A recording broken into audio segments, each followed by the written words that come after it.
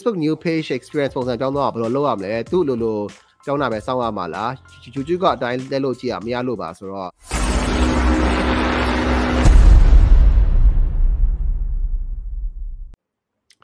အဲ Leon Hill မိထားတာက Facebook new page experience ပုံစံပြောင်းတော့ဘယ်လိုလုပ်ရမလဲသူ့လိုလိုပြောင်းတာပဲစောင့်ရမှာလား YouTube ကအတိုင်းလက်လို့ကြည့်ရမရလို့ပါဆိုတော့သူ့လိုလိုပြောင်းပါတယ်အဲတခုကတော့ဟိုပါပေါ့နော်နည်းနည်းလေးပို့ပြီး chance များတာက ဟို new page experience ကကျွန်တော်တို့ဟိုဟာလူတွေ media page တွေအတွက်ကိုဦးစားပေးပြီးလုပ်တာပါဟို business page တွေအတွက်မဟုတ်ပါဘူးအဲ့တော့ကိုယ့်ရဲ့အာ page type ကိုတွားပြီးတော့ setting ဆဲမှာကျွန်တော်ရဲ့ page type ကိုအာ media ဒါမှမဟုတ် creator ဆိုပြီးတော့ကျွန်တော်တွားရွှေးထားတယ်ဆိုလို့ရှိရင်တော့အာကိုယ့်ရဲ့ new page experience ကတော့ပြောင်းလာနိုင်ခြေပို့ပြီးတော့များပါတယ်သူ့လိုလိုပဲပြောင်းတာပဲဆောက်အောင်မှာပါ